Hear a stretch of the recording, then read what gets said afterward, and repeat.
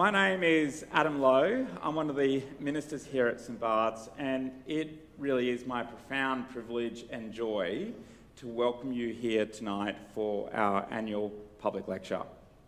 In a moment, I'm going to welcome Karl Faase up the front. So excited that you're here to join with us uh, tonight, Karl. Really looking forward to all that you have to share uh, with us this night, and, and I know uh, people are really going to benefit from it. So thank you uh, so much. But just a few housekeeping things as we uh, prepare to begin.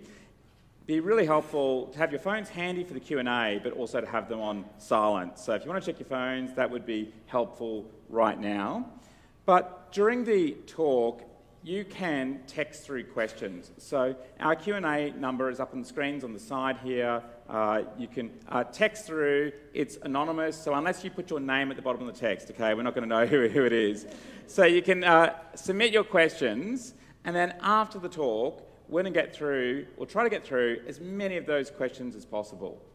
There will be an opportunity, as well as some roaming mics, to take questions off the floor but really want to encourage you to, to text your questions in. You can ask whatever you like, and it'll be great to hear Karl responding to those. So I really encourage you to uh, do that.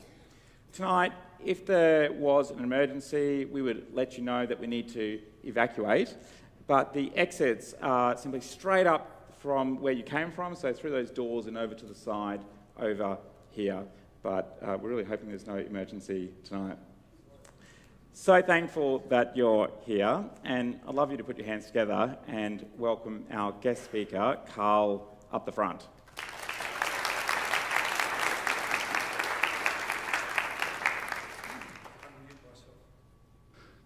We're good? Thank you. All good.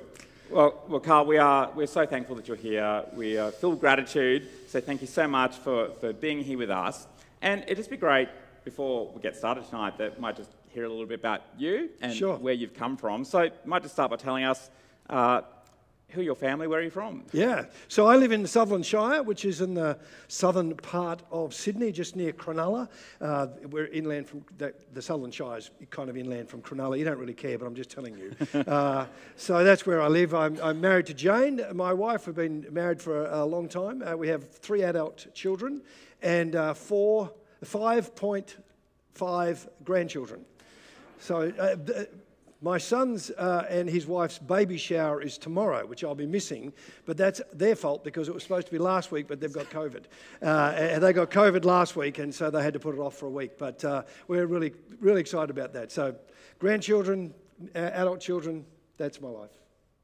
Sounds great. Well, we could write a note if you like, just to prove that you were here.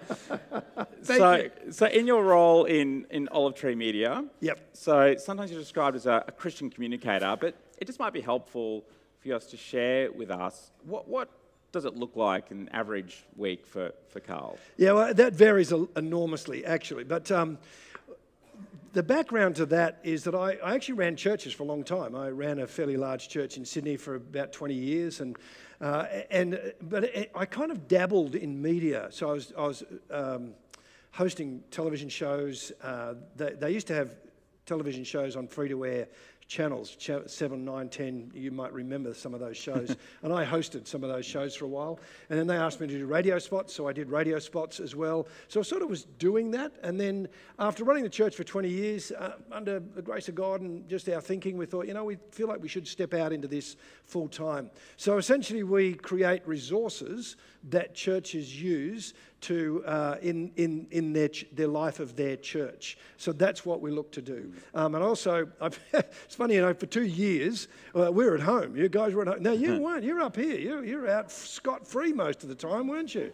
Uh, us poor saps in Sydney and Melbourne. Yeah.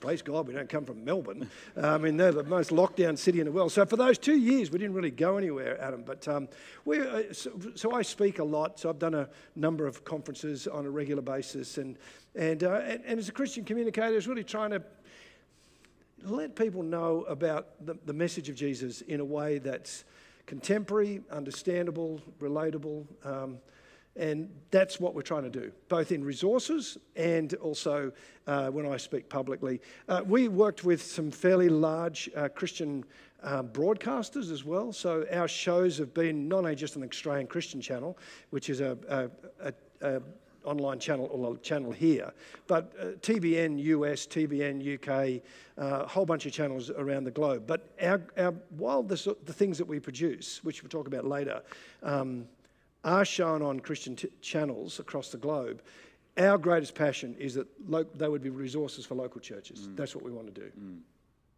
Well, we really appreciate that work and very appreciative of you.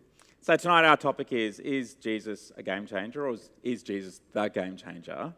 So just wonder for you, when did you first come to realize that Jesus was a game changer for you?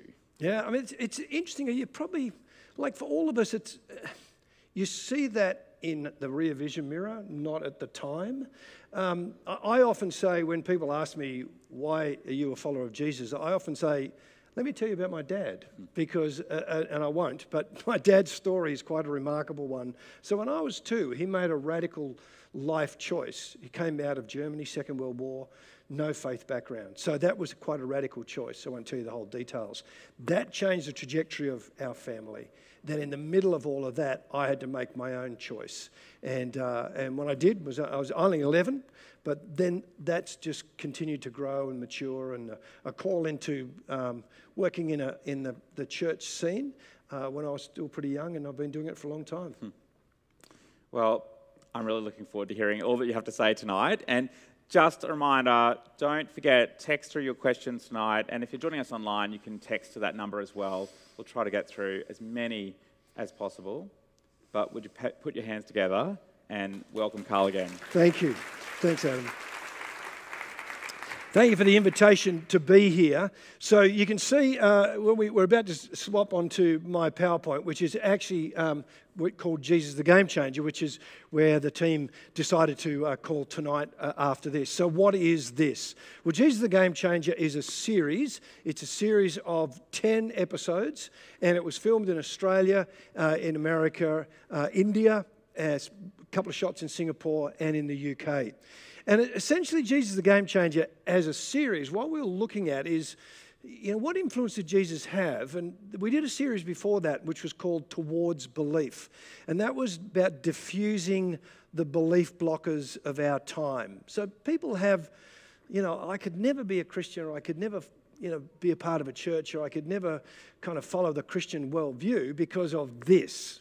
And we're trying to say, well, what is there a reasonable answer to that particular issue? And that's like intellectual apologetics. Now, by the way, if you've never heard the word apologetics, it's not saying you're sorry, you're a Christian. it's, about, it's about giving a defense for what you believe. That's what the word means, giving a defense for what you believe. This series is actually cultural apologetics. Now, the thing I need to say is that, uh, uh, and when we were just chatting then, I, I, talked about being a Christian communicator and I worked in a church. I don't have a PhD, I don't have a master's, I'm not one of those people that write 25 books and, you know, could. That's not me. I, I don't do that. What I try and do is so if this is the issue, who can we find that can help people see the answer? Who, who around the, and basically, who around the globe can we talk to that would best respond to that particular issue? So, in the series, if you get around to watching Jesus the Game Changer, and we'll talk about that a little later, if you get around to watching it, my job is as the interviewer host. My job is not the expert with all the answers. Uh, but in the process of being the interviewer host, in the process of meeting all these people, you start to meet people that have quite significant things to say, and it, in, it in, impacts what you think about the influence of Jesus. Now, there's a lot of discussion in Western nations, especially places like Australia, any Western nation across the world, America, the UK, there's this sort of significant question about so is the church positive? You know, there's this notion that, well, Christianity is actually a negative influence within the community. Almost like Australia's a great nation. And if it wasn't just for the Christians messing it up, we'd be so much better off. And if you've been following football out of Sydney in the last week, case in point. And there's this notion that Christians and the church just get in the road. And it's a dangerous idea. As I think about before my life and over my lifetime of kind of being someone who, who's been a kind of public Christian in, in an odd sort of way, if you go back to the 50s, some of you remember that. If you go back to the 50s, Christianity had a quite a central role. That doesn't mean everybody was a Christian or that we were a Christian nation, although a guy called Ken Inglis, who was a historian at the time, not a Christian, was writing for a well known publication in Australia and basically said, on weight of numbers, you would have to call Australia Christian, like the number of people who went to church. Quite remarkable. And um, so it was there, it was a kind of a central. And then you had the 60s and 70s and 80s, and it moved from being central to sort of a bit irrelevant. You know, it's just this is irrelevant, irrelevant thing. That's the, that's the religious people out the, the edge, they do that stuff. Then it moved again. And probably around, in fact, some people say Richard Dawkins around the uh, world, the attack on the World Trade Center in America, it moved religion Christianity being in that bunch of religion, moved from being irrelevant to dangerous. And if you think about it, what do you do with dangerous ideas? What does a community do with dangerous ideas? Well, we pull them out of the public square, don't we? So if there's a dangerous idea that we think is not good for the community and we think is not good for people, we take it out of the public square. We take it out of the media. We take it out of education. We take it out of politics. We take it out of sport. So here's this notion that Jesus, the Christian faith, is actually a negative influence. And the question we're asking in Jesus the Game Changer is is that reasonable? Is that a fair way of looking at the person of Jesus?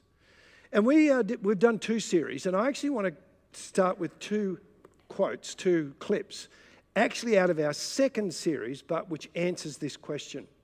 And the first, the first clip I want to talk to show you is actually by a guy, guy called Tom Holland. Tom Holland, not Tom Holland who was the actor in Spider Man, the other Tom Holland. So Tom, Tom Holland is not a Christian. And Tom Holland uh, is a Greco Roman scholar, loved the Greco Roman world, which he's about to say. But he then started over, he's done some docos with ITV TV in the UK. He's written books about it, novels uh, uh, wrapped around the Greco Roman world, studied them deeply, but then became quite uncomfortable with what he was seeing. And here's what he says about the Greco Roman world.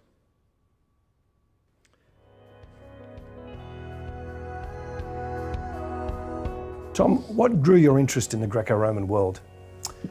Um, I think the fact that they, uh, the Greeks and the Romans seemed glamorous, they seemed fierce, and they were extinct. And for me, it was a kind of seamless progress on from um, an obsession with dinosaurs. I was one of those boys who was absolutely obsessed by dinosaurs. Um, and I think that the, the, qualities of a tyrannosaur were pretty much what I enjoyed and appreciated in a Spartan or a Roman army. The experience of actually writing about Greece and Rome, of, of living in the minds of um, a Spartan king or a Roman emperor, I, I found them increasingly morally repellent. Um, you know, the, the, the Spartans killed disabled children without a qualm. They were highly praised for it. This was the index of their moral virtue. Um, Caesar, when he conquered Gaul, is said to have slaughtered a million Gauls and to have enslaved a million more. And again, this, far from being held against him, was a measure of, of, of everything that he had achieved. And I began to realize that there was a kind of a, a quality of callousness about classical antiquity that was utterly alien to how I thought and to how everybody I knew thought and to the moral presumptions that, that essentially governed the the society in which I lived. So I want you to just kind of let that linger in your mind. So we, often, when we think about Christianity being dangerous today, tend to kind of look at the society that we're now living in.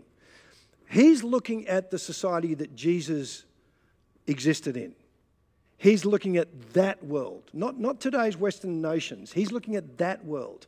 And you notice that? I found them increasingly morally repellent. Now, the, he wrote this book called Dominion. Uh, the book, when we interviewed him, uh, the book wasn't out, it's out now. it's, a, it's a, basically a book about the influence of Jesus across the globe. The one, the, this book is about 400 pages. Uh, and for your thinking, I'm not looking forward to reading 400 pages, you can actually go and Google this magazine article, which is only three pages. And it's much quicker and cheaper. And it's actually what first drew my attention to Tom Holland. I know this sounds pretentious, I apologise, but I was in London being interviewed by a guy, and we'd just released Jesus the Game Changer. And he actually said to me, he, not this piece of paper, but he shoved this article across the table to me and said, You should read this article. And it was the article by Tom Holland. And the article is a precursor to the book. This is kind of leaning towards the book. And the article is called Why I Was Wrong About Christianity. Now, hear me carefully right now. He's not saying he's a Christian. He believes the person of Jesus existed. He can see the influence of the Christian church, but he hasn't got to that point where he's saying, Yes, I want to be a Christian. What this article does is it basically fills out what he was just saying there about the Greco Roman world. And he's sort of looking at the Greco Roman world, morally repellent, whether you just don't care about people. We'll kind of get to some of that as we go through this evening. And then he's looking at modern Western nations, democratic nations, and he's going, so how do we get from there to here? Like, what, what, is, what is the line between those two? And what, what uh, and he, let me just quote this. He says, it, it was not just the extremes of callousness I ca- came to find shocking, but the lack of any sense that the poor and the weak might have any intrinsic value. That's what he saw in that world. And he's basically saying, so how do we get from that world to the world in which we now exist now? And he said, basically, the answer is Jesus, Christians, and the Christian church. And he ends the article with this. I'm going to have another quote from him in a moment. He ends the article at this The countries that were once collectively known as Christendom continue to bear the stamp of the two millennia old revolution that Christianity represents. He goes on to say that, you know, while the pews are a lot smaller, he says, I have learned to accept that I am not Greek or Roman at all, but thoroughly and proudly Christian. Now, he's not saying I'm a church going believer in Jesus, but he's saying my values and what I hold to are actually Christian values. Here he says, this is out of uh, the, the uh, and if you ever get the book from the library or buy it, read the introduction, gives you everything you need. Three pages of the introduction, you've got it covered. But here's what he says in the introduction To live in a Western country is to live in a society still utterly saturated by Christian concepts and assumptions. 2,000 years on from the birth of Christ, it does not require a belief that he rose from the dead to be stamped by the formidable, indeed inescapable, influence of Christianity. The West, increasingly empty though its pews may be, remains firmly moored in its Christian past. Now let that sink in. He, oh, I'm assuming you're quoting, you're cheering the quote, not how I read it. But he, that, that was very good. Um, he, we're in an Anglican church too. You don't clap in an Anglican church. Goodness. Here's, or cheer. Uh, here's, here's the deal. Like, what is, he, what is he saying here? You don't actually have to believe in the death and resurrection of Jesus. You, you can leave that aside. What he's really saying is if you walk around the streets of Toowoomba, there are people right across this, this city, and they're already influenced by Jesus. They just don't realize it. And, and to push this a little bit further, there's a guy called Robert Woodberry who we interviewed, and he's, again, for season two.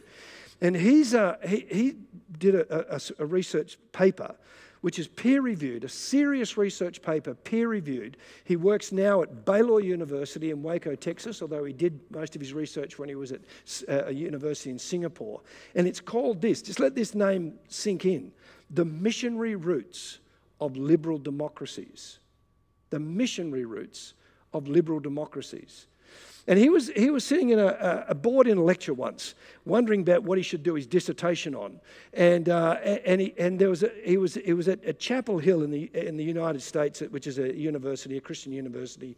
And Kenneth Bollen was the, the lecturer. And Kenneth Bollen made this point Bollen remarked that he kept finding a significant statistical link between democracy and Protestantism.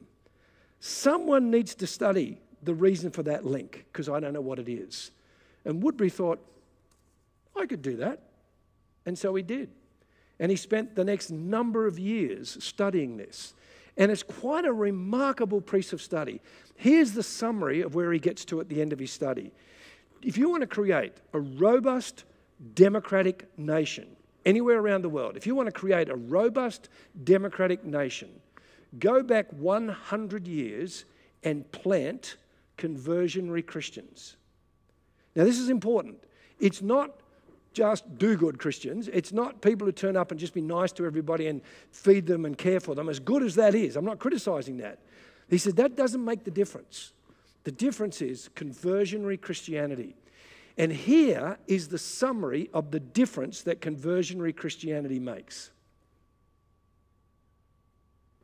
Where you had greater Protestant missionary influence, you have higher literacy, higher school enrollment, more newspaper circulation, more book circulation, more voluntary association membership, um, uh, higher GDP, more medical bed, uh, hospital beds, longer life expectancy, lower infant mortality, lower corruption, and greater political democracy.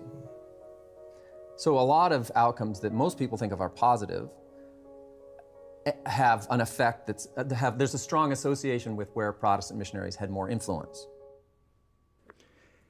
As you can imagine, this research is not popular. This is done in serious universities. It's been peer reviewed. Now other people are taking up the same research.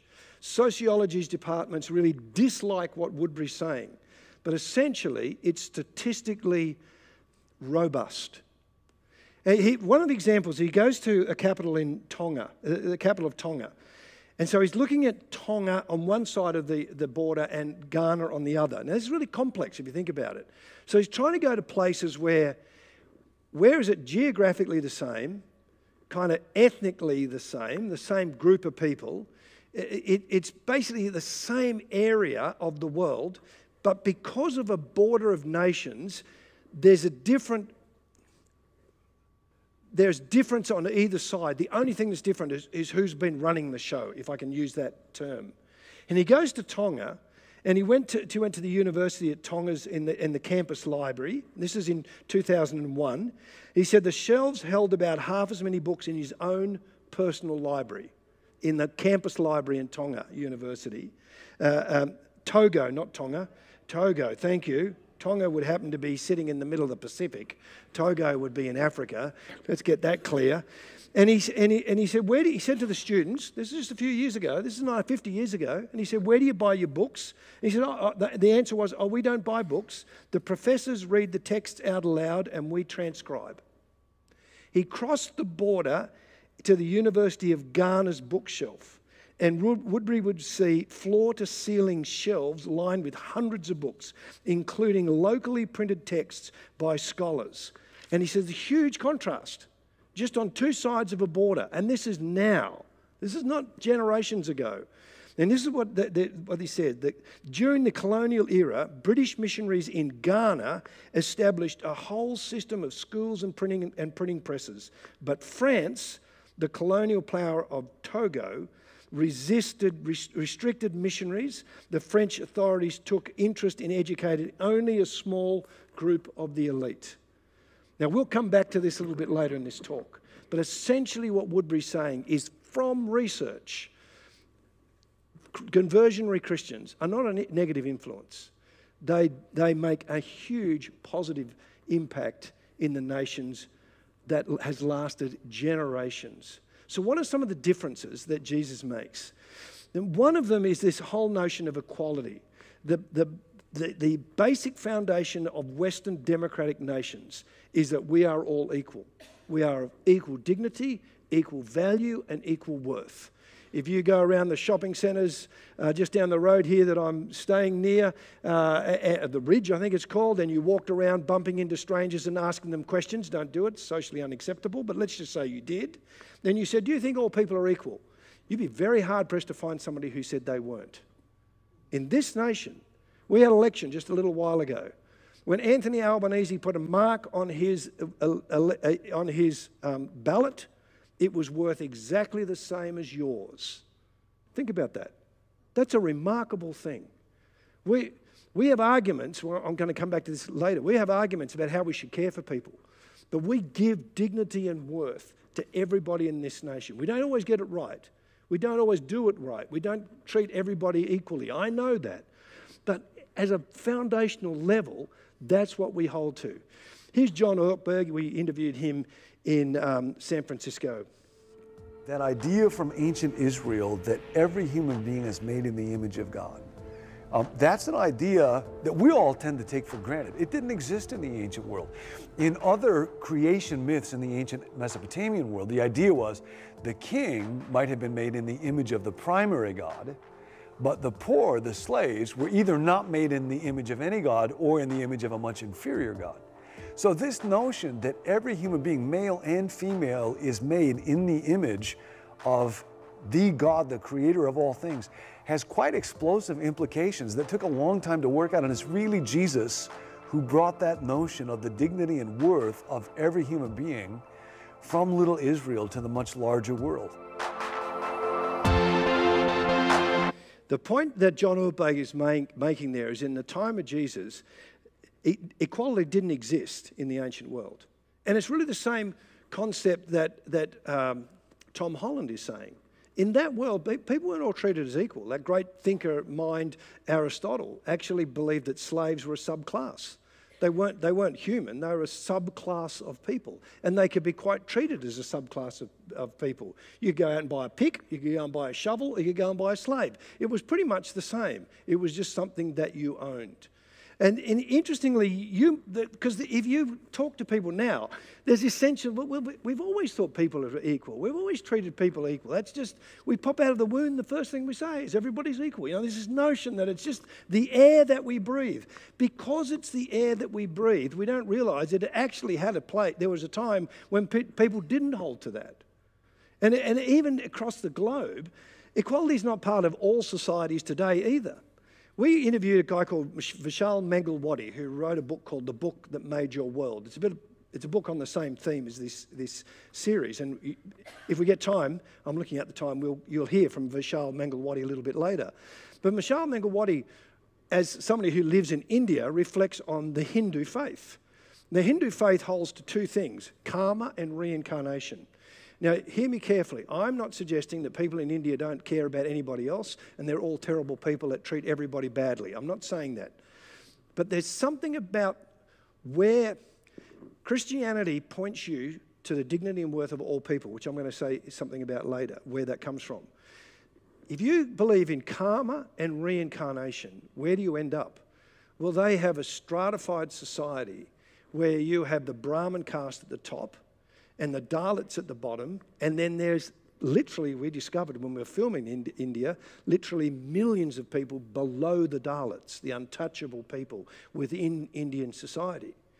And if you hold to a, a Hindu philosophical worldview, which says this we don't ever kind of die and just go away, we keep coming back and we come back and we come back. And what you come back as is determined by how you lived. That's the whole karma idea. So if you're a Brahmin class, if you believe in the notion of karma and reincarnation, if you follow that worldview and you're in the top Brahmin class, the wealthy, the powerful, the influential, what do you think about your position if you take a Hindu worldview?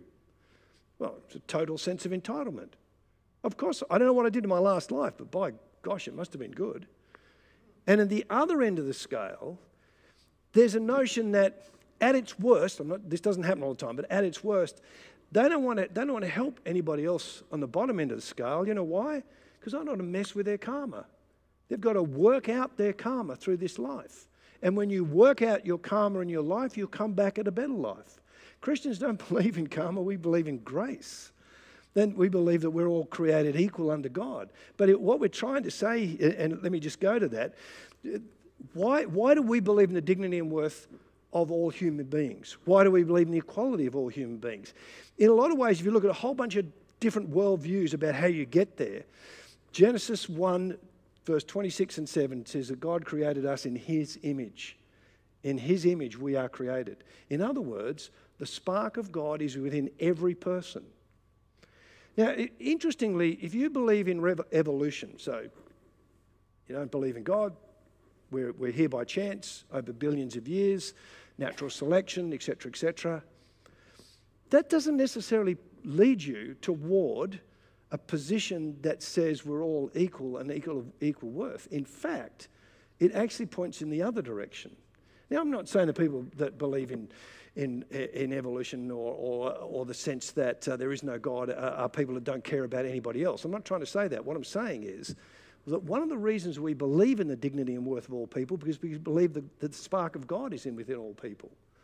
And the spark of God is within the disabled kid and the billionaire. The, the, spark of God is there. That's what gives us our dignity and our worth. There's this notion uh, also where Paul talks about equality. And one of the things that, that um, Tom Holland talks about, and it talks about in his book, and we've got a little bit of a clip of this in, in uh, Jesus the Game Changer season two, is he, he writes about how the explosive nature of Paul's writing in the New Testament. Now, in our society, in our time, in our day, Paul's kind of looked on a little bit, you know, bit of a misogynist, not particularly helpful, you know, a lot of what he wrote. And yet, there are places where Paul writes things that we don't actually see how explosive they are. In, he writes to a church, uh, the, the, church in Galatians, uh, gathering, a, a wider group, and he actually says these words For therefore, there is neither Jew nor Gentile slave nor free, male nor female. We are all one in Christ Jesus. Now, you, some of you would have heard that before. Now, by the way, I'm only quoting the Bible not to say this is authority and you must listen to it. It's just a way of looking at how Paul thought or looking at what Jesus said, which we'll get to eventually. That's just to say, here's, here's what we know about what Paul wrote. And when Paul writes this, that was an incredibly radical thing to say in a world that was completely stratified, in a world that saw slaves as tools, in a world that saw women, which we'll get to, as, as, as, possessions of the men in their lives with no rights, in a world that separated, especially the Jewish people, separating themselves as the chosen ones from everybody else. And Paul says, no, all, all, those, all those boundaries, they're all gone in Christ. Now, the intriguing thing is, that's all these years later, we read that and go, yeah, of course. But at the time, that was radical. At the time, that was different. At the time, that was revolutionary. In this whole area, there's a guy called Larry Siedentop who's written this book, um, Inventing the Individual. Now, we were going to interview Larry Siedentop. He's, he's in his 80s then. Uh, he was quite unwell, he was, and he, uh, so we weren't able to interview him.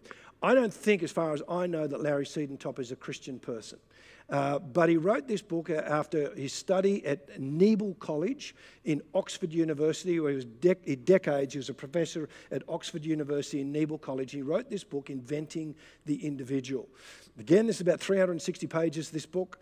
Uh, that, this is a book where you, you, you read the summary at the end, and that gives you everything you need to know. Go to the library, get the summary the introduction to Tom Holland's book, the summary of uh, Larry Siedentop's book.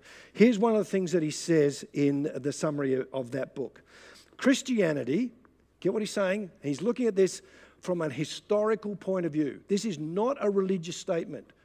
Is that clear? This is not religion speaking. This is not a person of faith selling an idea.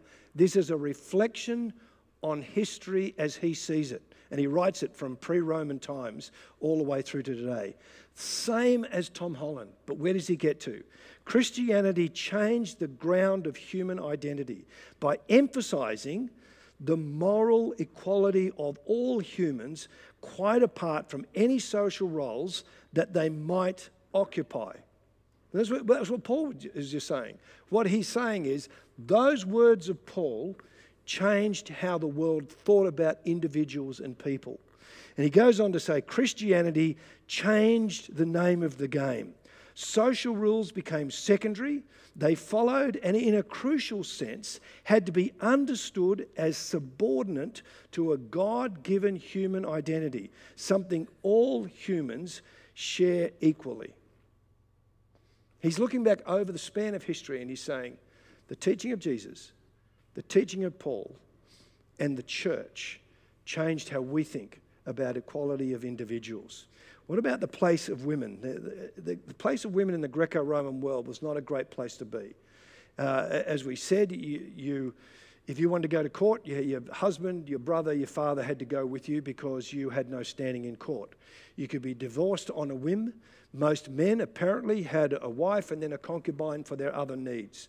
Basically, a woman's job as a mother, and they were often married in their early teenage years. They were often married to older men, and they were often just basically at home to produce male children. And in that setting, uh, women had no rights and, and few rights. And Jesus was revolutionary when it came to women.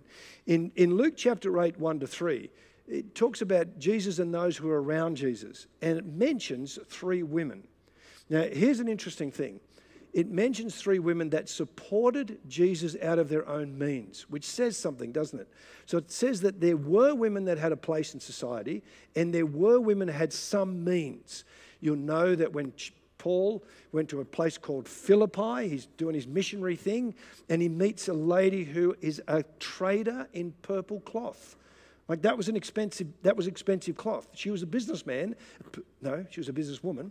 She was, she was a business person and she was very good at it.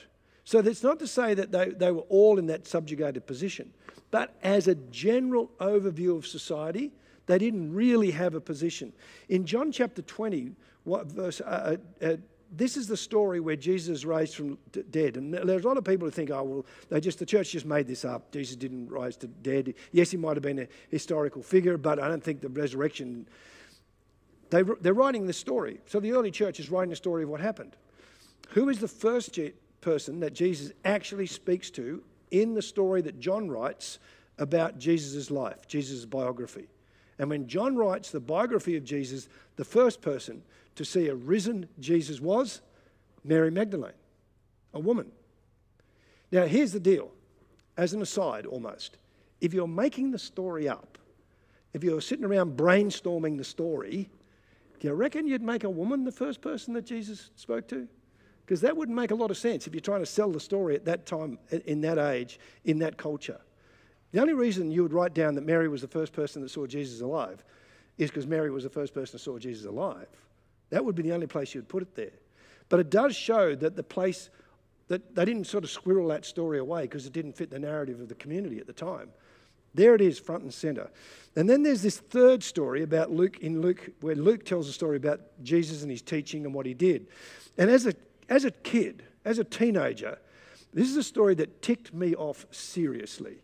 Um, and, and, some of you might remember this story. There's two ladies called Mary and Martha, sisters, and they were good friends of Jesus. And Jesus would visit them regularly, and then there was that story where their brother Lazarus, Lazarus died, so that's that part of that story. Anyway, this one, Jesus turns up to their house and as you can imagine, you can't just bang something in the microwave or whip down to Coles and grab a frozen pizza and put it in the microwave. Preparing a meal for somebody took a long time. It was a lot of work, and uh, and it had to be. You start from you know you start from scratch to create a meal. And when they get there, so I'm reading the story as a teenager, and, and here's Mary. She's, she's, uh, she's, she's sitting in the lounge room talking to Jesus, and Martha's in the kitchen, you know, whipping up this meal. And halfway through, Martha comes in to Jesus and said, Do you reckon you can ask my sister to give me a hand with the meal? And Jesus' response was, Mary's chosen the right thing. It won't be taken away from her. And I used to think, oh, how slack is that? There's Mary pretending to be spiritual, getting out of all the work. Poor Martha out there doing it all herself. And partly because I was a kid. But the thing I missed about the story was women didn't learn in those, those, those times. Women weren't supposed to sit with rabbis and teachers and rulers, those who, who taught other people. Women didn't, never learnt. That wasn't their place. They were never given those opportunities. And what is Jesus saying? She has a mind. She's going to learn. And it's not going to be taken away from her. I'm going to give it to her.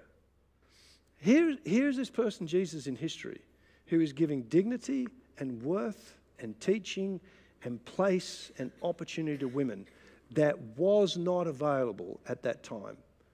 There, there are discussions in our days about uh, whether there's equality of women and the gender pay gap and all of that, and you know, there are things that we should respond to.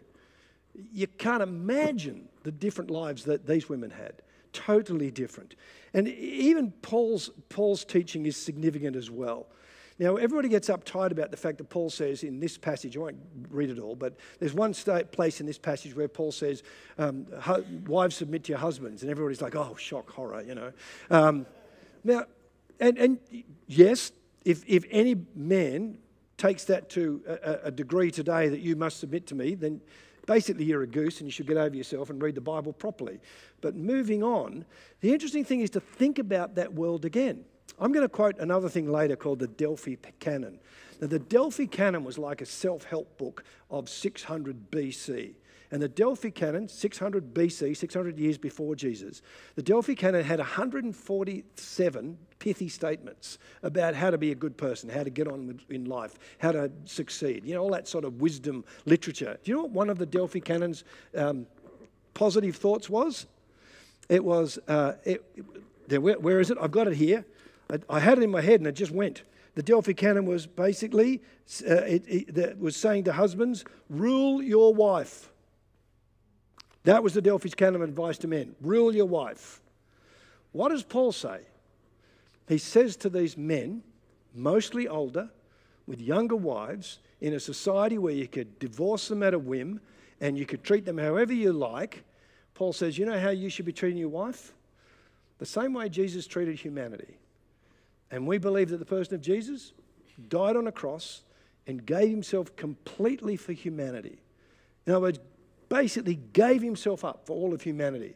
So, men, you want to know how do you treat your wife? There's a good example. There's the place to start. You have no idea what a radical concept that was. In a privileged, male dominated society where you could do whatever you like because your woman, your wife was your possession, Paul is saying, give yourself to these women. It's no wonder that the church grew in the early years, and part of it was it was so much better life. In this, in, in, in this setting, and then there's that same passage out of Galatians again. In, in this setting, the other thing that happened was that, that women were so poorly thought of. And children, I just skipped the children bit, but children were so poorly thought of that basically, if you had a girl they were actually an economic burden to the family. They were not positive because you had to give a dowry and you had to marry them and it was expensive and, and they couldn't really provide for you in your older life. And there was this thing called exposure that most of us don't think about today, but was actually a very normal part of the Greco Roman world. And it was this uh, Jo Vitale, brilliant lady, uh, now in America, but was, we interviewed her in Oxford. And here's what we talk about the place of women. So, Jo, this, this thing that you mentioned, exposure, mm. give us a picture of what that would look like. Yeah, so exposure in that context, it basically refers, I mean, quite literally to the practice of, of taking out your child, but perhaps because you're in horrible poverty and you just have no way of supporting them and there's no other option for you. So you go out with your child, probably at night when, when no one can see you. And there are a lot of texts that refer to children being left at somewhere like the rubbish tip or, you know, the garbage heap, where a child would just be, be left out, basically exposed to the elements. Um, and, and two things would happen. Either someone would occasionally you get instances of you know children being found in, in that situation and taken and brought up in a household where they may become a slave, um, or, or these children would just die. Was it true that most of those exposed, or the higher percentage of those exposed, were girls? Yes, that's right. I mean, you know, occasionally you'd find instances of men as well. I think, you know, just just because some people would be in such extreme poverty that they couldn't even, you know, feed an another mouth. But on the whole, it would tend to be women because they would be seen as a drain on the economy of the household rather than an asset. One of the things that Tom Holland was said to us in his interview and we were talking about this whole issue of exposure. He said that one of the ways that uh, archaeologists date digs in the Greco Roman world is that they would look at the drains. And many times uh, in the years gone past, they would find in the drains all these small bones. And there was the thought that the small bones were animals. And they took, took a closer look, and the small bones were actually babies' bones. And what they discovered is what Tom Holland would say is one of the things that they do now, if they're trying to date a dig, is if there's baby bones in the drains, it's pre Christian. If there's no baby bones in the drains, it's post Christian. And here is this notion that uh, children aren't really worth that much. And exposure was, again, just a normal part of their society and their life, as abhorrent as it sounds. I'm going to jump through a whole bunch of slides. Try not to watch them because this is going to take longer than we thought, so or longer than I thought, mainly because I talk too much. It comes with the territory. Uh, let me go to care uh, and, and Jesus on care. Jesus in Matthew chapter 25, verse 40, said something that, again, it's one of these things that we don't really think about how radical this is. In chapter 25 of Matthew, uh, Matthew tells a story where Jesus is giving an example. Uh, it's kind of like a parable. A parable is not like a true story, but it points to a, a bigger reality. And this story in Matthew chapter 25 is this picture of the end of the world, and the king is judging all the people. Now, the king is sort of seen as God in this setting, and God is judging all of humanity. So there's humanity spread out in this parable, this apocalyptic sort of picture, and, and God is judging the people. And then God separates. Now, by the way, as a Christian who reads the whole of the Bible, you've got to take this in the context of the whole of the Bible, because this sounds like you earn your way into heaven. You know, all the people that worked hard enough get there, and all the people who didn't work hard enough don't get there. We believe in grace, so we've, we've got to balance this up because Jesus is making a particular point out of this parable, not saying this is how you get to heaven. But in this story, he's separating the sheep who are on the right from the goats who are on the left. The sheep on the right are the good ones, the goats on the left are the not so good ones. And Jesus, when he's he, in this telling this story, um, he, he, and he says to those on his right, Come, you who are blessed of my Father, take your inheritance, the kingdom prepared to you from for, prepared for you since the creation of the world. For I was hungry, and you gave me something to eat. I was thirsty, and you gave me something to drink. Do you remember this passage? I was, I, um, I was a stranger and you invited me in. I needed clothes and you clothed me. I was sick and you looked after me. I was in prison and you came to visit me. And he's saying this to the sheep on his right. Good on you guys. Thank you. Into the heaven. This is slightly my very rough interpretation of what then happens. And the sheep are about to go into their eternal glory and they turn back to, to God and they say, we're really pleased to be sheep on the right, not goats on the left, and we're pleased to be going into your eternal glory, and we don't really want to lose our spot. But we do want to ask you a question. When exactly do we see you in prison or naked or a stranger or needing a help? Because we reckon we might have remembered, and we don't remember when it happened. So, can you give us a picture of when we did that? And Jesus said this the, the king will reply, Truly I tell you, whatever you did to the least of these, my brothers and sisters, you did for me. That, those words, changed the world. Absolutely changed the world. Because all of the people who became followers of Jesus in the years to come, in a society that did not care if you had no one looking after you, they remembered who they followed. And they remembered hey, we're with the guy who said, whenever you do something for the least of these, you do it for me. So we're going to turn up for the people most in need. Here's Rodney Stark reflecting on that. Rodney, what was it that Jesus taught that the early church picked up on that kind of shifted? Well, I suppose the main thing he taught is that life was sacred. That uh, uh,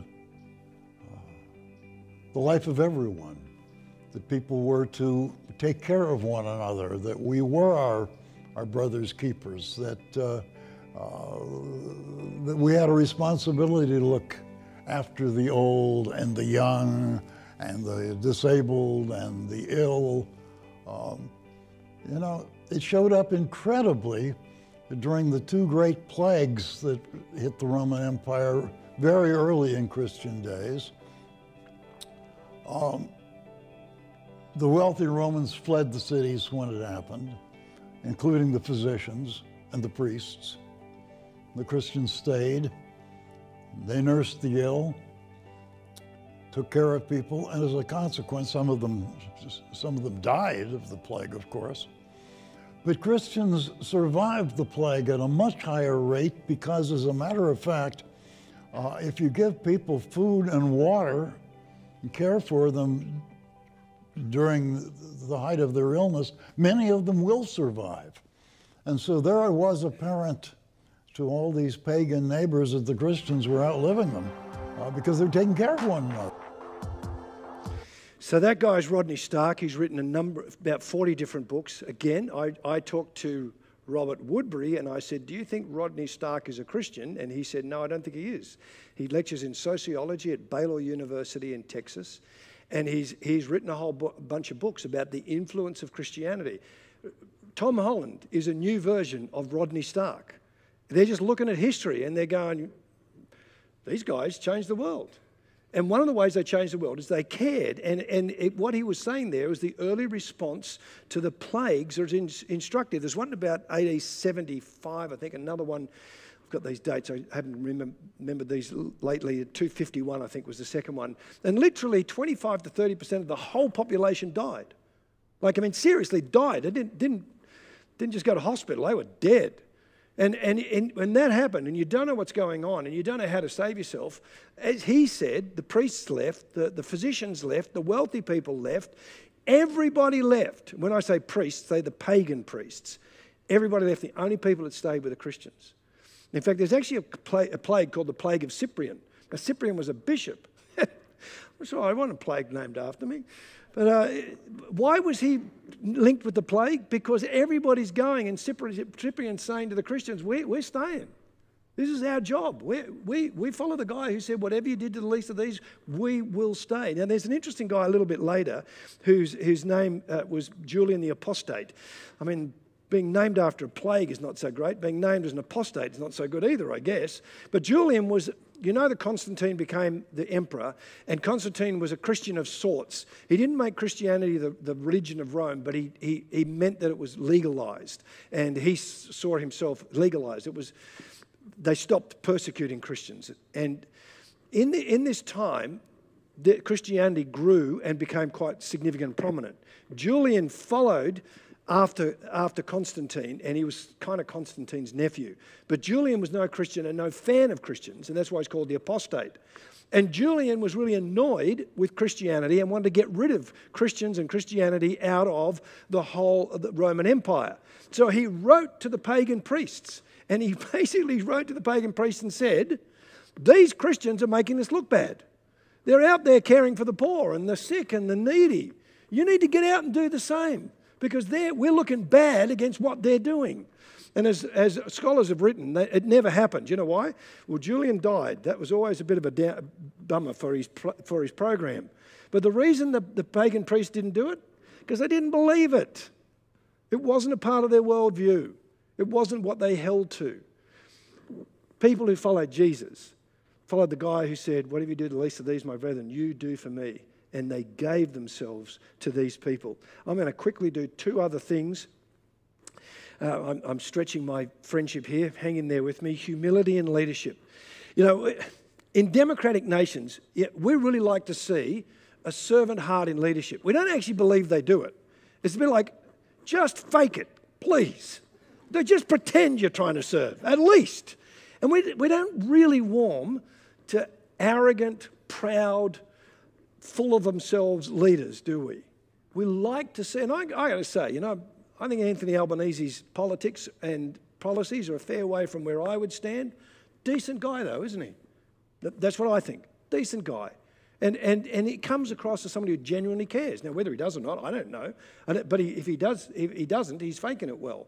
But here's this deal that that's what we want in leadership. Where did that idea come from? That we like humility in leadership? Because uh, humility was not a virtue in the Greco Roman world. Humility was actually a vice in the Greco Roman world, it was seen as a weakness. And Jesus, on two occasions, in John chapter 13 and Matthew chapter 7, John chapter 13 is the story where Jesus washes his disciples' feet. Again, we, we know that story well. So we're just kind of, oh, yeah, yeah, yeah, that happened around Christmas. I mean, Easter, one of those two. Well, I think it was Easter, wasn't it? Easter? You know, so that, didn't it happen? And, and Jesus washes his disciples' feet. The Pope washes people's feet. That's a good thing. Think about this Jesus is the rabbi, the leader. Jesus knows his position in the universe, as it were. He sees himself as God's son. That's where Jesus sees himself, in that position. In a, in a world where, in that Matthew chapter 20, Jesus is saying, you know, you know that the, the Gentile leaders, you know they just lorded over people. Now, any Gentile leader hearing Jesus say that wouldn't have said, wouldn't have been offended. They would have said, absolutely, of course we do that, because that's our job. We're in charge. And we're not going to bow down to anybody else. We only bow down to people that we see, that we believe are higher than us. And Jesus comes to this meal. The meal's all prepared. The logistics team was not doing a great job because the one job that there was no one to do was to wash people's feet. Now, keep in mind, this wasn't like a ritualistic thing, this was about hygiene. If you're in the Middle East as a bloke walking around in sandals, let's put the fashion faux pas aside, but walking around in sandals in a hot, dusty environment, and you go into a room that's not very large, and then you recline at a table. In other words, you lie on one elbow and you put your feet out behind you. It's not a very pleasant meal if people, somebody hasn't washed people's feet. So the worst job in the place was to wash everybody's feet when they came in. The lowest servant did that job. The person, the bottom of the lung, rung, that's what they did. And you imagine the disciples turn up, there's no one to wash feet, they're looking around, who's going to do this? And Jesus, there's this little piece where he says, Jesus, knowing he came from God and knowing he's going to return to God, that's just how John records that little story. Now he knows his place, wraps a towel around his waist and washes their feet a remarkable, a remarkable act of service and grace extended to these people. In the Delphic canon, the one I was just told you about, there's 147 statements, and I just said one of them was to rule your wife, about how to live a good life. Guess what doesn't exist in the 147 statements? Humility never gets a mention. Yet, today, Jim Collins wrote, his book um, a business writer, a researcher, has written Good to Great, and uh, which has just sold millions of copies around the world, and all big corporations around the world use this book. And he talks about level five leadership. And level five leadership is what he believes is the most effective leadership to get your company from a good company to a great company. I don't mean because it's a nice place to work, I mean they make more money. That's what he's talking about. So, how do you get from being a good company to a great company with commercial output?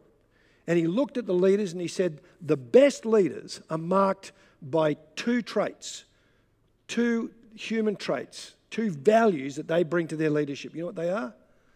Fierce resolve and humility.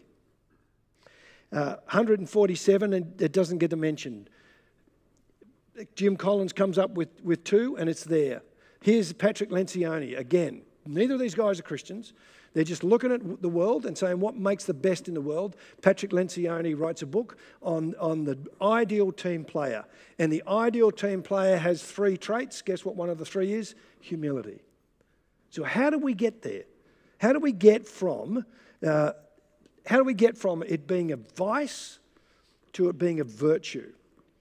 And what, what historians like John Dixon you're about to hear from, will tell us is that historically the turning point is the cross. Here's John Dixon. The historical moment that changed everything was not so much his teaching, but his crucifixion. Because in the crucifixion, power is given up in such a, an extraordinary way. The cross was viewed, crucifixion generally was viewed as the ultimate punishment in the Roman Empire the lowest point in the world, you could say. And yet, the Christians believe Jesus chose to go there. Not that he was humbled, not that he was crushed, but that he'd willingly given himself. And so they had, they had a choice. Does this mean Jesus wasn't as great as we thought? Because there he is on a cross. Or does it mean we have to change what we think about greatness? It really does seem that the turning point, and when I say this, I just mean it historically, not theologically. The turning point in history, in terms of this motif of the humble leader, is the crucifixion of Jesus, where the Christians spotted that to be truly great means to lower yourself for the sake of another. Remarkable change. Let me jump forward uh, through these to. Um, gosh, I'm really disappointed. But anyway, moving on because we can't be here all night. Isn't that great news? The great news is I can see a clock and I'm paying some attention to it. Here's what I, here's here's one of the things I want to wrap with though, uh, which I think is really important because there's a there's a, a, a misnomer, a, a false message you could get out of what I'm saying. You could come out of this and go, okay, Karl, I think I've got the point you're making. The person of Jesus came into the Greco Roman world and brought a whole bunch of cultural changes, and they changed society. And Western nations are a different place because of the cultural changes that Jesus made, and that's a good thing. So that's, that's the, why Jesus is a game changer, because he made those cultural shifts. And I would say to you, that's kind of in the big picture true, but complete, completely false. Uh, Jesus changed the world through, through people. And Jesus changed the world one person at a time, one individual at a time, one life at a time. And one of those lives that we looked at in, the, in Jesus the Game Changer is actually the story of William Wilberforce. Now, most of you will know the story of William Wilberforce as the guy who abolished slavery in the, the British Empire. In 1807, the trading of slaves was abolished. And then in 1833, slavery as a, a, existing was abolished in the British Empire. Keep in mind, in East Africa, it still went on for years and years afterwards, which was why David, which was one of the things that David Livingstone, as a missionary in East Africa, stood against. But in British Empire, it was abolished in 1833, three days before William Wilberforce actually died. He brought that to the Parliament every year for 20 years before anything changed. And most of us kind of go, well, that's William Wilberforce, that's, that's his, you know, his Christian background, good on him. Well, it's interesting that that wasn't William Wilberforce's background. His dad died when he was nine. He came from a very wealthy family in Hull. Uh, he, he went to Cambridge University. He was a brilliant man, uh, brilliant with people as well. Uh, basically wasted his, rep, his time uh, at Cambridge University partying and playing cards and having a great time. But he, was, uh, he, he, did pretty well because he went back to Hull, and at the age of 21, he became uh, the, the member of Hull for Hull at Westminster in the Houses of Parliament. So at 21, he goes to London. He gets invited to the best clubs in London. His best mate w- was William Pitt, who was the son of the Prime Minister, and William Pitt became the Prime Minister at the ripe old age of 24. So, William Pitt, the youngest Prime Minister of, of, of the UK, good mate of William Wilberforce's, parting his way through life. Then he goes on a, a, a, tour of, of a grand tour of Europe. And a grand tour of Europe at that time was not on a river cruise and it wasn't on a nice bus, it was actually in a coach and, and carriage. And in a coach and carriage, you know, apparently back then the, the Wi-Fi and the, uh, the, the, the, the coverage it was even worse than it is today, you know. So you've got no phone, you've got no iPad, you've, you've got no podcast, you, you've got nothing. I mean, it's desperate, isn't it? You've got to talk to people. Goodness. And William Wilberforce spent the whole time talking to a guy called Isaac Milner. I'm going to resist telling you that there's a very interesting connection between Isaac Milner and Australia, but let's move on. So, Isaac Milner is chatting to him. People in Cambridge University used to talk about Isaac Milner as being very smart. And they were discussing a particular book that was a book around faith, belief, and Christianity. And after traveling all the way through Europe with Isaac Milner and his mum and an auntie and a couple of different people, he comes to the point where he believes, I believe this. I'm going to become a Christian. I'm going to follow Jesus. And he goes back to England with the decision to be a Christian. Now, you might be, some of you will be skeptical about that. Some of you who might be a part of a church would think, well, that's a good thing. He must have felt great about himself. The interesting thing about uh, William Wilberforce is he gets back to England and he's completely depressed. And he's depressed because he thinks, I've wasted my life. I've wasted my education. I've wasted my life. Am I wasting my time in, in, um, in the Houses of Parliament as a parliamentarian? What, what should I do? And William Wilberforce is trying to work through who do I talk to about this? And the only person he could think to talk to was a guy called John Newton. John Newton, who wrote Amazing Grace. I keep saying this the original version, not the one with the new hipster verse in it. So the original version of Amazing Grace was written by John Newton. Now we probably most of us think, oh, I must have been a songwriter. John Newton was a brilliant church leader. The church he led in the centre of London is still there. He was probably the most prominent Anglican Church of England minister in London. He used to be a slave trader. He grew up on slave ships. He was a captain of a slave ship. Long story. Resist the urge, Karl. Move on. So William Wilberforce decides he's going to go and see John Newton. Really funny story. He walked around the block seven times. He was too nervous to turn up. He didn't want anyone to see him.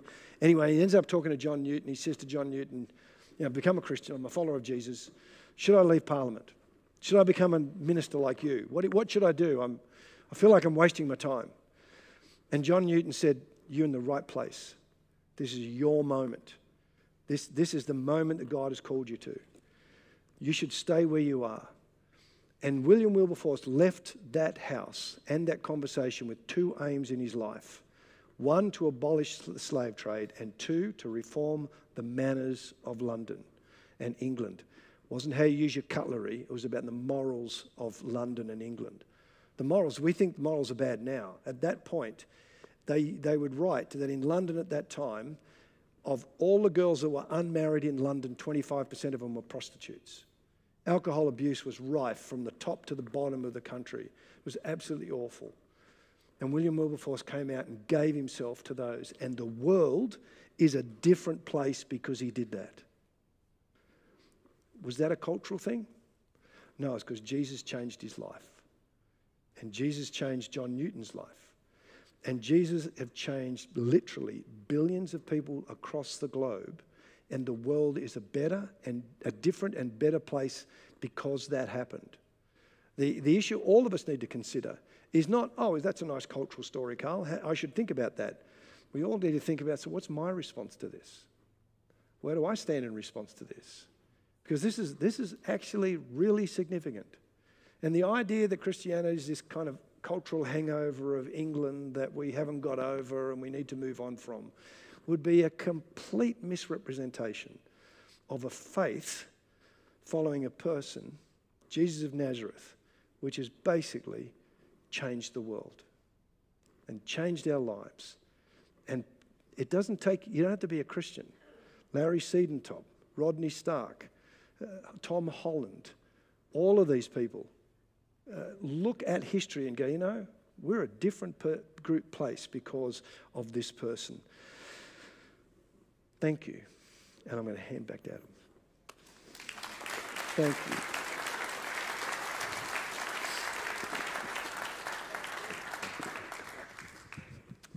Karl is coming back, don't worry. Uh, thank you so much, Karl. You can still send some questions through, so we're going to try and get through as many as as possible. So you can text them through. And there'll also be some uh, helpers coming around with some microphones. So if you prefer to ask a question on the floor, uh, there'll be the opportunity to do that as, as well. But Karl, I think someone's been very kind. I didn't get to check if this was your number, but what is the connection between Isaac Milner and Australia? so, oh, thank you. Who asked that? Um, Isaac Milner's brother was a school teacher and, and in, in Hull. And there's a very so you had the Clapham sect, which is around the Clapham Common, which is what um, William Wilberforce was a part of. And the Clapham sect, uh, there's a whole bunch of people, Josiah uh, Wedgwood, uh, John Thornton, the, the, director of the Bank of London, um, quite significant people. But th- there was a regional kind of offshoot, which was actually in Hull. And Hull, people, this guy ran uh, both a church and a school, and there's really deep connections with Richard um, Richard Johnson, who was on the First Fleet, Samuel Marsden, who followed him, and William Cowper, who came after him, who was the first kind of pastor church leader uh, rather than a chaplain. And he ran uh, York Street Church, oh no, um, St. what's that, St Philip's in York Street in Sydney. He ran it for 40 years and died there. His son also lived for a very long time. So there's this really interesting connection between Hull, the Milner family, and those who came to Australia to bring the gospel to Australia. Hmm. Amazing link. What priority should caring for others take in a Christian's life today? Yeah, yeah. I mean, it, it, it's, a, it, it's an interesting question, isn't it? What, what priority? It, it's in the sense that we believe that the gospel, so if I use the word gospel, I mean the message about the person of Jesus. And the gospel is a word, I'm going to talk about this tomorrow morning, is a word that actually means good news. It's not good advice, it's good news. And the gospel, if you look at, look at the New Testament, pretty much all the way through the Bible, but look at the New Testament as well, the gospel kind of has two wings that are together. One is caring for those who need it most, the least of these, and telling people the good news that we believe. That's the news I would believe. And those two things are important. And so it's, it's the, the place where we find a place to serve the least, the last, and the lost. That's our task. That's our job. That's, that's we should try and find some space where we can express that value that we hold because we follow the person of Jesus. So it doesn't mean it should take everything that we do. I think one of my fears for the church is that we're becoming more a humanitarian organization than we are somebody telling people good news. And both, both those need to be there, and both of them are, really important. If Jesus changed the status of women and the poor, mm. why has it taken Western Christian countries 2,000 years to acknowledge this? Uh, I, I, think there's a few things in that. I don't think we like talking about it. I think that um, there are those. There are those who would, would look at Christian countries and say we don't do it well enough, etc., etc., and that we, you know, certainly you know, the place of women hasn't been as strong as it could have been. But that's because we're comparing those times with now and our values now, and we're also comparing it with ourselves. We're not comparing it to other parts of the world. I mean, just look at Afghanistan since the Taliban have taken back over. I mean, that's the comparison. You know, like that, that's the space we should be looking at. You know, and, and, I, and I think certainly it take, certainly you've got cultural change takes a long time, uh, but there's a whole bunch of places all over those 2,000 years where women were given opportunities through the Christian church. They weren't anywhere else. For instance, women who joined um, well, monastic orders as women. And you probably think, oh, that's a bit rough. I mean, they, you know, why would they do that? Well, they actually were given an opportunity opportunity to learn, opportunity to serve, opportunity not just to be a, a wife and a mother, uh, so there, there are lots of places where the church has done more than its fair share. Is it a perfect story? No. And there are plenty of people telling the not so good side of that story. And, and that's fair enough. That's not to say that that's not true. But one of the things I want to do, as much as we can, is to say, you know, there, there is another side. We need to look at that other side. Not to pretend it's perfect, but to say that there is places where the followers of Jesus have made a huge difference. So, quite naturally, leading on from that, in the past 100 years, although I'd say it's not just the last 100 years, there have been horrific stories. Yeah, terrible. Of Christians not treating yeah. others in the image of God. Yep.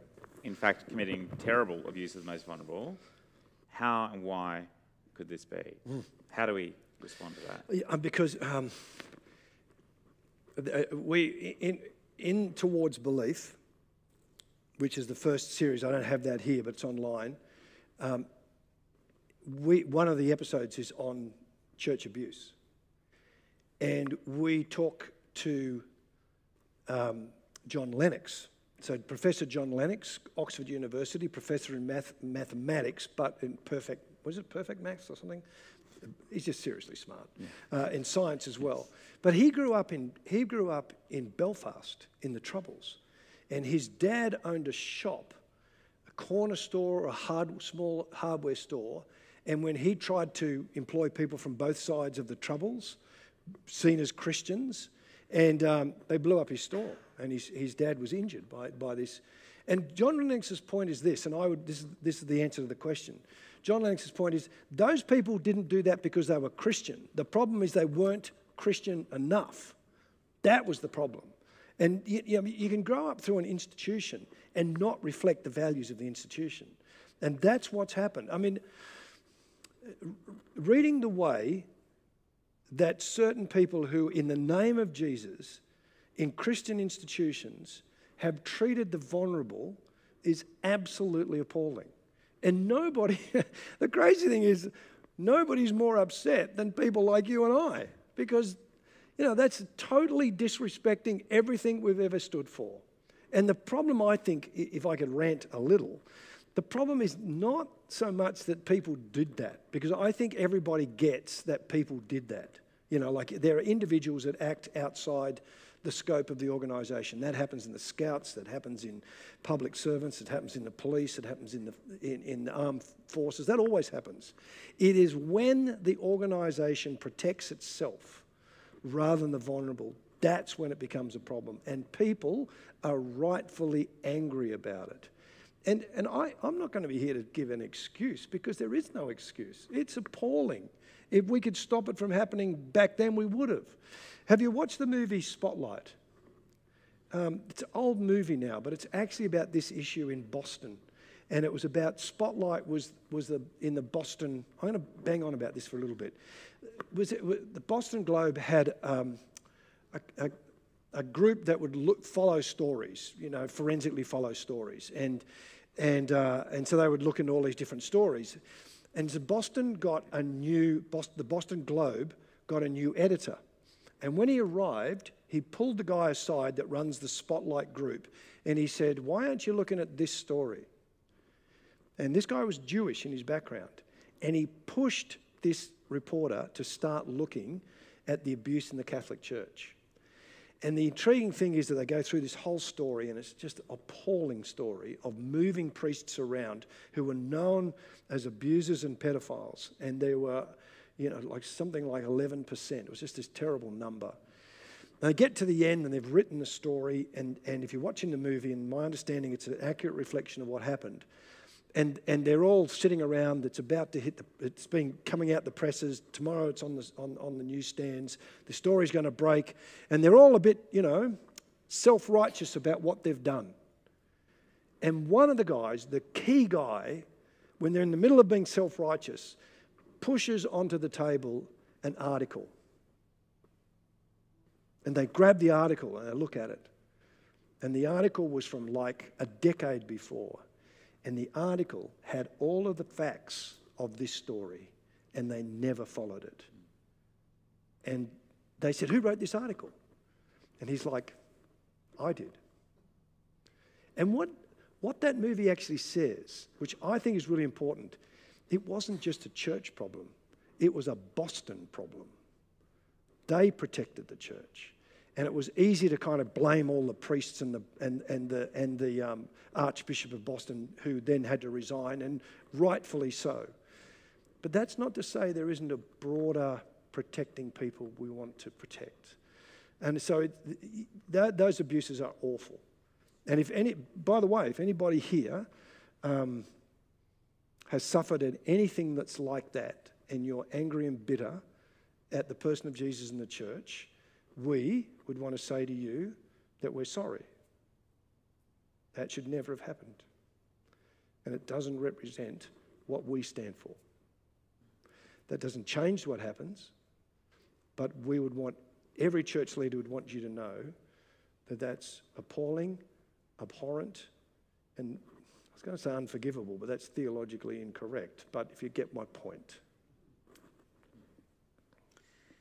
So I said, I'm not a Christian and agree that Jesus has changed the world. But how can I get to know Jesus or begin exploring who Jesus is for myself? Did you write that? No, did not ask this. I did not write that question. That sounds like a Dorothy Dixer from the no. opposition, doesn't it? Like, I mean, the, the point is, the point about, the point I would want you, if you write that question, to take out of this is people like Tom Holland look at the evidence and go, oh, there's more here. So uh, uh, there's a few things I would, I would say to do. One of the things that people have found really helpful is just reading the Bible. Like actually, actually just reading the Bible. Don't get study notes and a whole bunch of stuff. Just read the Bible. And especially start with like books like Mark in the New Testament or John in the New Testament. And if you have some friends, just sit down and go, let's read this together. I don't mean out loud, but let's read these 10 verses and let's say, what, what does it say? What does it say to me? What difference would it make? And start to explore it from that point of view. No one's asking anybody to make a kind of emotional, off the cuff decision.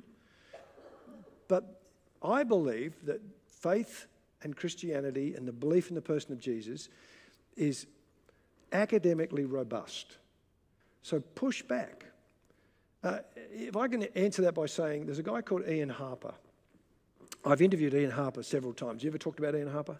I haven't talked about him, but I know him. Yeah, you know him. Brilliant. Yeah. So he's a Professor Ian Harper. John Howard had the Harper Report. That was Ian Harper, uh, Professor of um, Economics at Melbourne University at one stage, or Business in Melbourne University.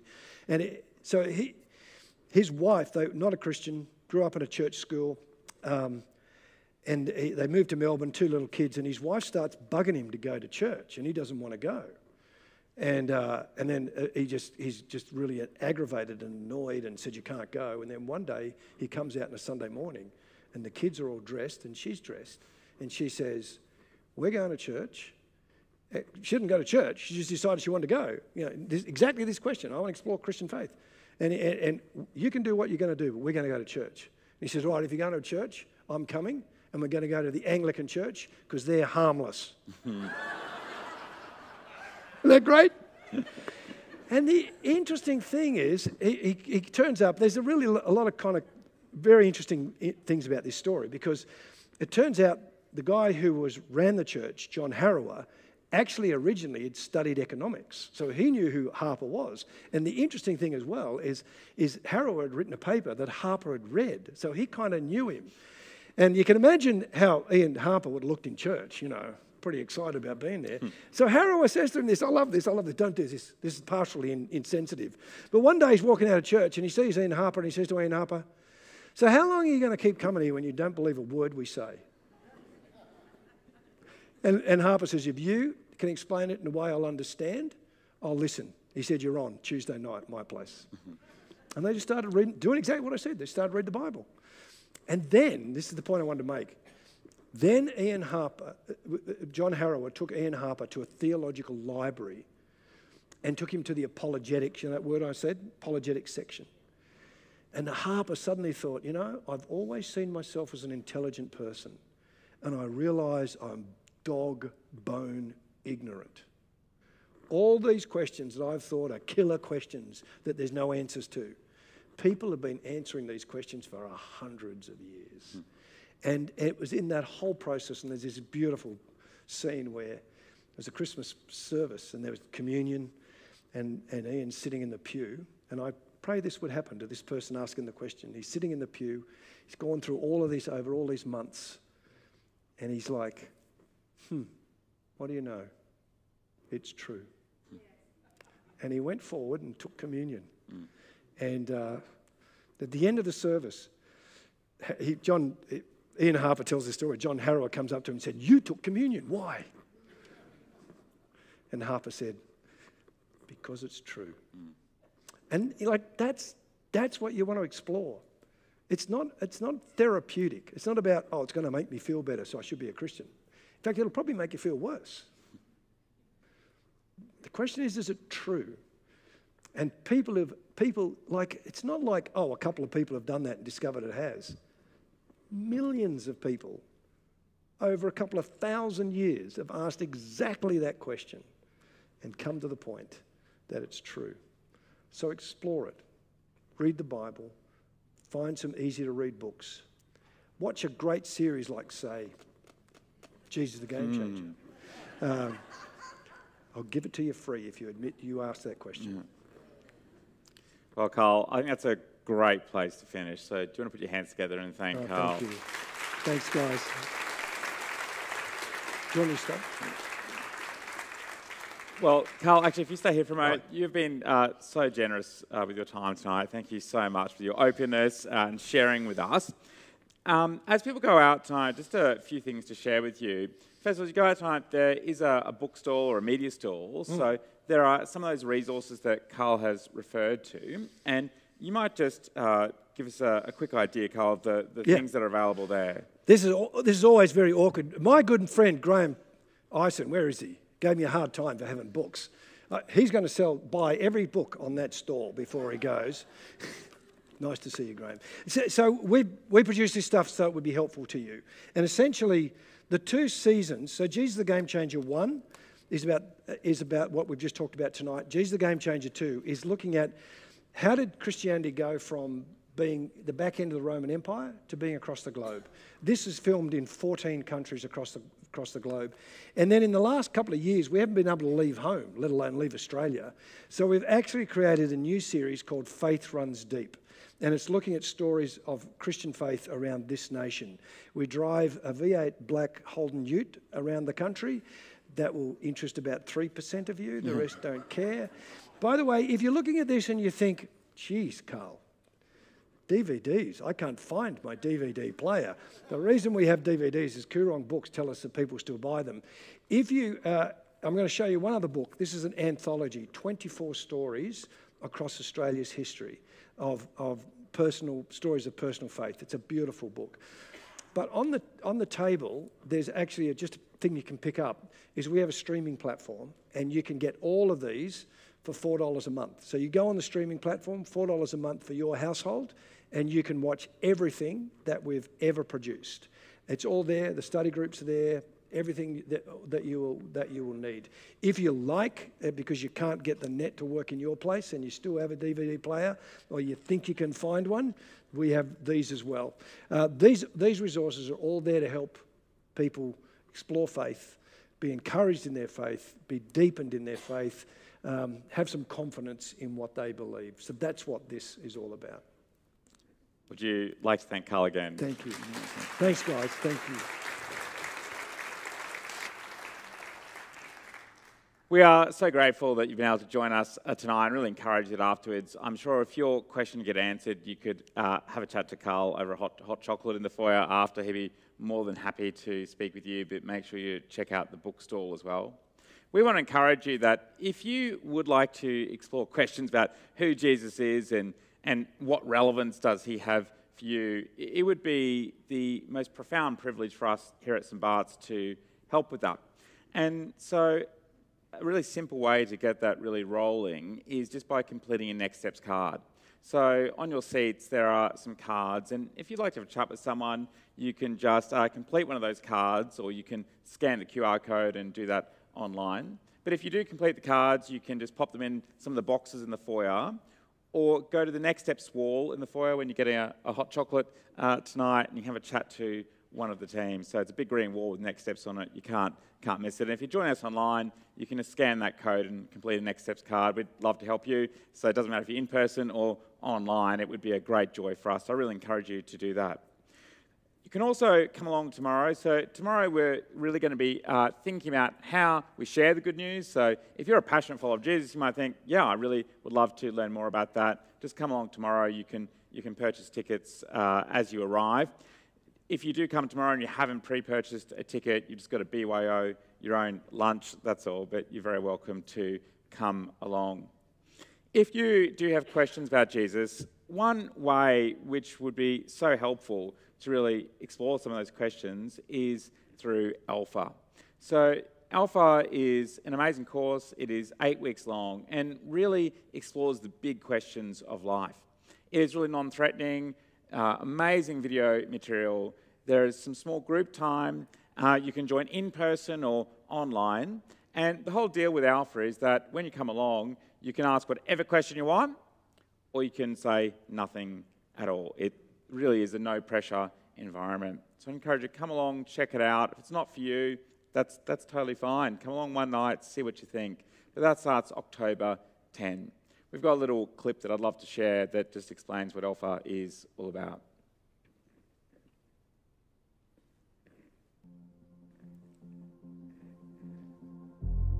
Every day we ask so many questions. What should I wear? What's the weather going to be like? How am I going to fit everything in? But then there are those bigger questions, like why am I here? Where am I heading? Is there more to life than this?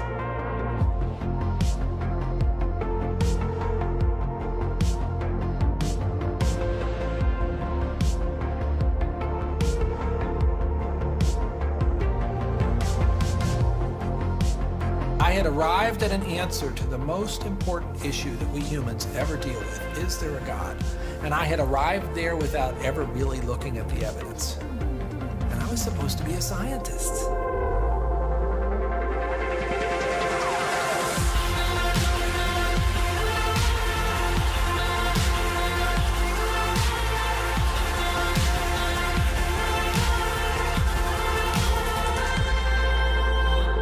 28, uh, I had gotten many of the things that I thought I wanted. Uh, my girlfriend was on the cover of magazines, I had a Beamer, and I was so unhappy.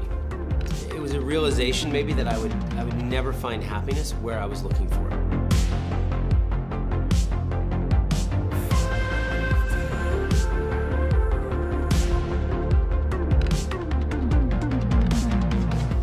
For so many years, you know, I always just strive to be strong in myself. All I needed was me and my buddies and, you know, we'd be like invincible. But the truth is, none of us are.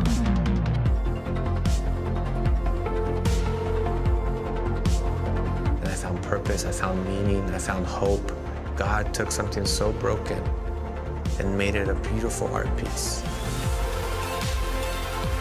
Alpha is a place where you can be yourself. You can say what you think and challenge everything. No, question is too complex or too simple.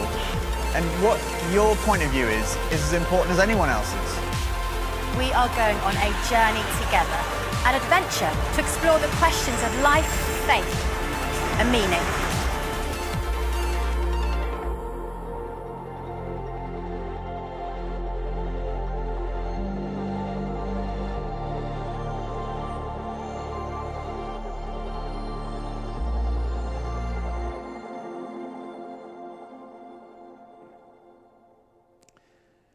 So if you're interested in trying out Alpha, just complete a, a Next Steps card and uh, you can go see one of the Next Steps team in the foyer. But please do stay afterwards. Join us for hot chocolate. We'd love to chat, love to meet you, and also answer any questions that you might have.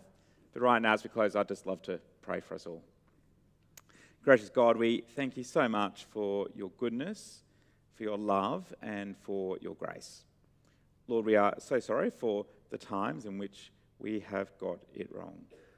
Pray that you would really help us to learn more about who Jesus is, his significance for us and for the whole world, that we might be growing in our knowledge of your love for us and our love for you. Lord, we thank you so much that we've been able to gather here this night. We pray in Jesus' name. Amen.